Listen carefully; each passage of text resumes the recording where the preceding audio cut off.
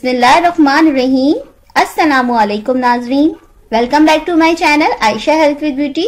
तो दोस्तों, कैसे हैं आप? कमेंट करके मुझे ज़रूर बताइएगा। मुझे बहुत ही अच्छा लगेगा।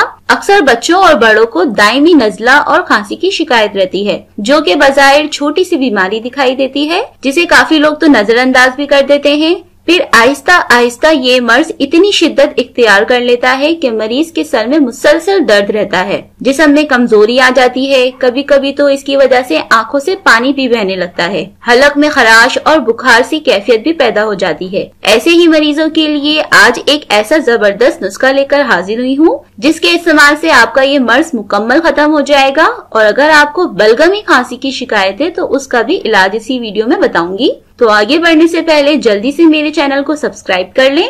और अगर आपने पहले से ही मेरा चैनल सब्सक्राइब किया हुआ है तो आपकी दिल से शुक्रगुजार हूँ। तो सबसे पहले आपने मुलेठी पाउडर लेना है। ये आपको पंसार स्टोर से मिल जाएगा। इसे इंग्लिश में लिकोराइस पाउडर कहते हैं। दो चम्मच आपने ये पाउडर लेना है। अब आपने जो चीज़ इसमें डालनी है, वो है लौंग। लौंग को आपने पीसकर पाउडर बना लेना है। एक चम्मच आपने पिसी हुई लौंग इसमें डालनी है। अब जो चीज़ आपने इसमें डालनी है, वो है सीनामेन पाउडर यानी दालचीनी का पाउडर ये मैंने घर में ही पिसा है, आप भी इसे घर में ही पीस सकते हैं। इसका आपने आधा चम्मच डालना है। अब जो चीज़ आपने इसमें डालनी है, वो है फिलफिल दराज. ये आपको हर्बल स्टोर से मिल जाएगी। इसे इंग्लिश में लॉन्ग पेपर भी कहते हैं। इसको भी आपने पीस कर पाउडर बना लेना है और आधा चम्मच ही इसका शामिल करेंगे। अब आखिरी चीज़ जो आपने इसमें डालनी है, वो है हनी यानी कि शहद। शहद आप इतना डालेंगे कि ये माजून की शक्ल इख्तियार कर ले थोड़ा थोड़ा कर कर शहद डालें और मिक्स कर लें। साथ ही साथ वीडियो को लाइक भी कर दें। ये देखिए आपका माजून तैयार है। इसका आपने बस आधा चम्मच रात सोने से पहले खाना है और इसे खाकर सो जाना है।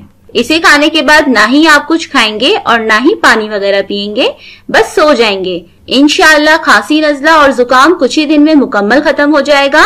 अब चलते हैं बलगमी खांसी के नुस्खे की तरफ़। तो इसके लिए आपने करना यह है कि जब रात को सोने लगे तो एक मुट्ठी छिले हुए चने खाने हैं और चने खाने के बाद थोड़ा सा गुड़ खाना है। एक इंच के करीब गुड़ आपने खाना है और फिर इसके ऊपर कुछ नहीं खाना और ना ही कुछ पीना है। बस सो जाना है। यकीन करें, एक ही बार के इस्तेमाल से इसके ऐसे बेहतरीन रिजल्ट्स मिलेंगे कि आप बाज़ार की महँगी महँगी दवाइयों को भूल जाएँगे। तो आप इसे मेरे कहने पर एक बार ज़रूर ट्राई करें और अपना एक्सपीरियंस मेरे साथ ज़रूर शेयर करें।